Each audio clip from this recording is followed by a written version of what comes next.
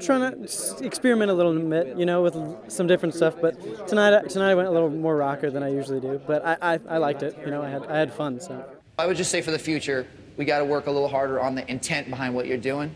But it, it was great. You're a great singer, man. You just got to be a little, you know, less trustworthy or something. I don't know. I, I think I think Adam had a good point when he said kind of get into the song more. I kind of got cut up with the crowd and kind of made it a little cheesy. I think, but but I, I definitely need to feel the song a little bit more, like Adam and Christina said. So.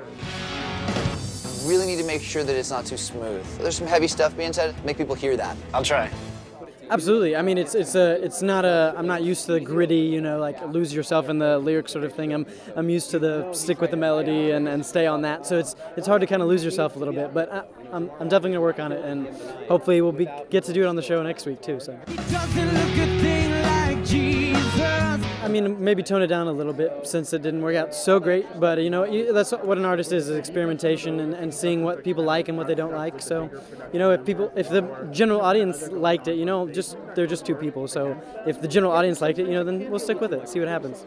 I think the bow ties kind of branded me a little bit. Um, you know, I kind of just was looking for a way to kind of set myself out as an artist, and I've always kind of liked the older, like Southern gentleman type style. So you know, I, I tried to do this with bow ties and suspenders, and then kind of add my own like colors and craziness to it. So.